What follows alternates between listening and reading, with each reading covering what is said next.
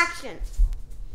Uh, hello, this is Susie. Um, for some of the students that I have had in the past or have now, um, we are going to make a simple uh, little fun snack.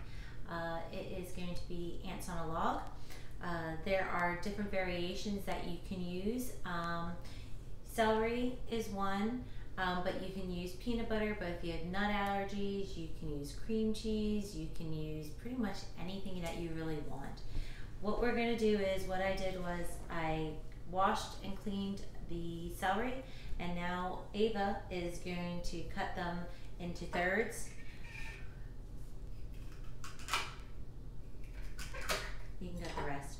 Once you have uh, a nice section of it, I'm using peanut butter peanut butter. Um, and what you do is take a nice big dollop of it, and then you are to smear it on.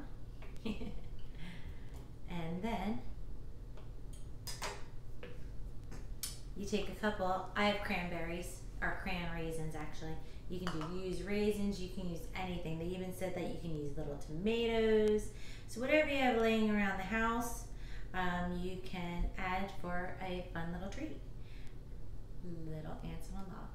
Easy as, as anything. I'm also including a recipe uh, written down if you want more step by step instructions. Have a great day.